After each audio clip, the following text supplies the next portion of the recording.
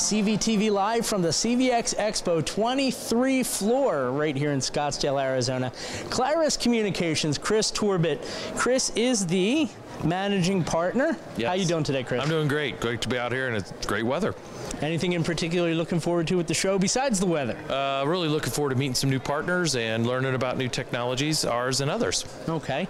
And for Clarus Communications, obviously a lot of buzz about AI and white labeling and all that stuff. Tell us about the company. Yeah, so the company's been around 25 years, offering uh, TSD.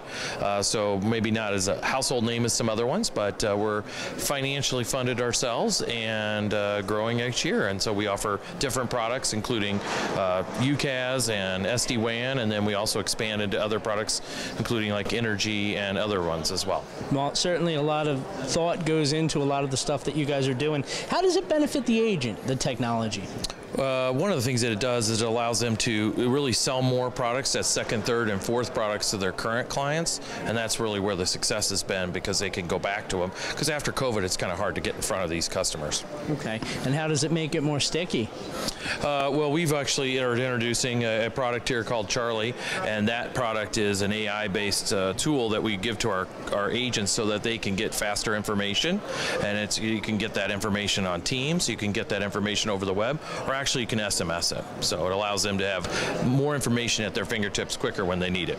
Okay, I've seen a lot of these Seeds T-shirts. Yeah. What's that all about? Yeah, we're also offering uh, and promoting Seeds, which is a, a device management uh, product that allows you to sell uh, for, for, the first time in the business insurance and warranties uh, for all products under $10,000 at a customer site and also includes a buyback program as well. Uh, they don't even have to uh, have the insurance in order to get the buyback program. Sounds like a great concept. How does all this help to drive sales?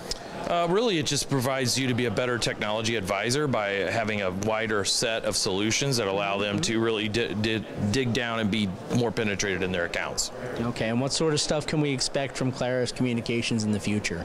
Uh, more innovative ways to find to help our customers and to help our agents succeed.